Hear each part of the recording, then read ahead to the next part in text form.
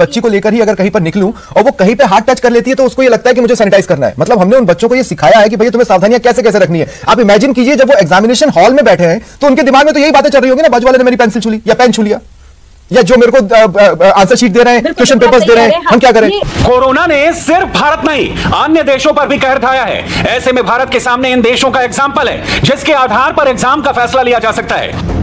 Europe के कई देशों, जैसे कि Britain, France, Belgium, Ireland, Netherland, Switzerland के कुछ इलाकों और नॉर्वे ने बोर्ड एग्ज़ाम पूरी तरह से कैंसिल कर दिए थे। वहीं डेनमार्क, ऑस्ट्रेलिया और इसराइल ने सीमित रूप से बोर्ड एग्ज़ाम कराए थे। इटली ने रिटेन इम्तिहान कैंसिल करके सिर्फ़ मौखिक टेस्ट किया था। एशिया में पाकिस्तान और इंडोनेशिया ने बोर्ड इम्तिहान रद्द करके पुराने एग्ज़ाम के आधार पर नंबर दे दिए थे। वहीं अमेरिका में कोरोना काल में खास तौर से develop online tax advance placement से बोर्ड इम्तिहान कराए गए थे। इसमें कई विदेशी छात्रों को भी बैठने का मौका मिला था। तो जैसा कि आपने सुना है, दुनिया के सबसे बड़े से बड़े देश, बड़ी से बड़ी अर्थव्यवस्था छात्रों के स्वास्थ्य को ध्यान में रखते हुए सभी को प्रमोशन दे रही है। एग्ज़ाम नहीं ले रही, वहाँ जनसंख्या भी कम है, लेकिन भारत में इतनी जनसंख्या होते हुए भी, सबसे ज़्यादा केसेज आते हुए भी क्यों छात्रों को बलि का बकरा बनाया जा रहा है, उन्हें प्रमोशन क्यों नहीं दिया जा रहा है?